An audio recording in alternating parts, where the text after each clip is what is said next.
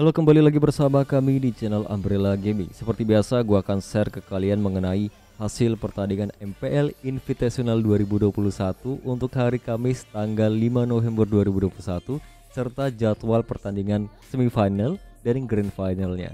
Tapi sebelum lanjut ke videonya gue mengingetin untuk jangan lupa klik subscribe Dan aktifkan bel notifikasinya agar kalian tidak ketinggalan video-video terupdate dari channel ini Oke, di pertandingan pertama ada SMG versus RRQC dengan kemenangan RRQC dengan skor 2-0.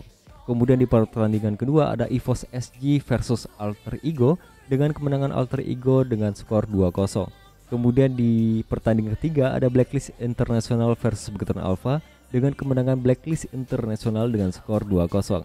Kemudian di pertandingan terakhir ada Onyx Esports versus RSCPH dengan kemenangan Onyx Esports dengan skor 2-1.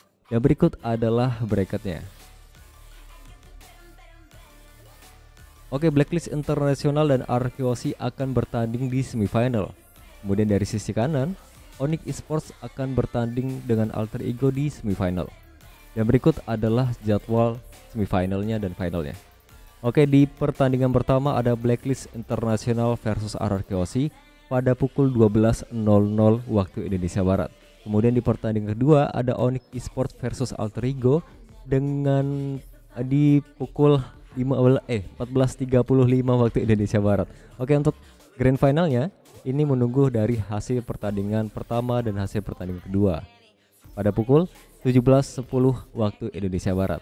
Terima kasih telah menonton video ini sampai ketemu di video selanjutnya bye bye.